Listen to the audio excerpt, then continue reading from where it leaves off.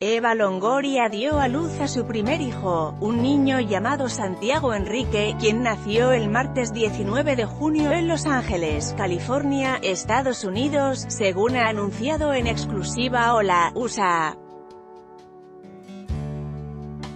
Santiago Enrique es el primer hijo en común de Longoria, de 43 años, junto al empresario Pepe Bastón, de 50 años.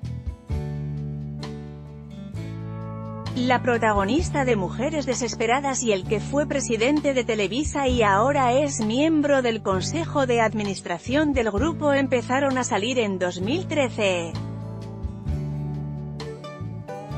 Se casaron en mayo de 2016 en una gran boda celebrada en Valle Barco, una ciudad a dos horas de Ciudad de México, a la que acudieron Ricky Martin o Victoria Beckham.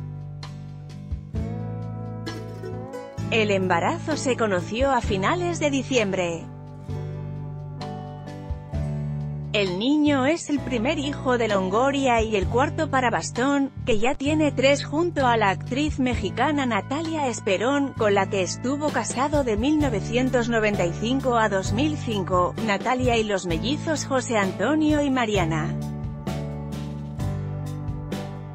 Longoria ha estado casada en dos ocasiones, entre 2002 y 2004 con el actor estadounidense Tyler Christopher y entre 2007 y 2011, con el jugador de baloncesto Tony Parker, pero no había tenido hijos hasta el momento.